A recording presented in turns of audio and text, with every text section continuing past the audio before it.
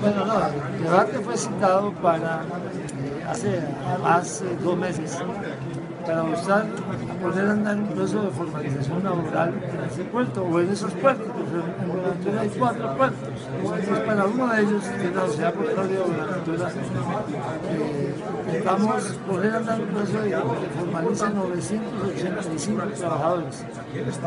Claro, el debate coincidió con la realización del paro cívico de Buenaventura, entonces, además de los temas de formalización, que es una de las reivindicaciones, una de las propuestas, una de las aspiraciones de los que están organizando el paro.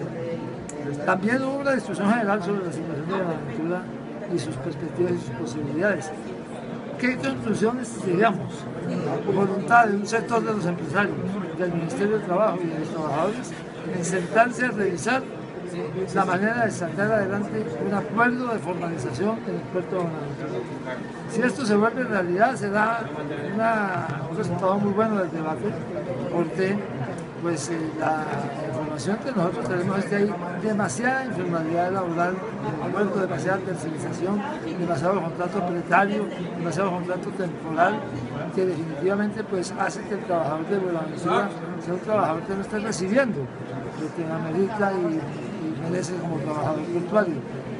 Que ojalá esa voluntad que se mostró al final del debate se concrete en un acuerdo laboral que se pueda volver realidad en las próximas semanas.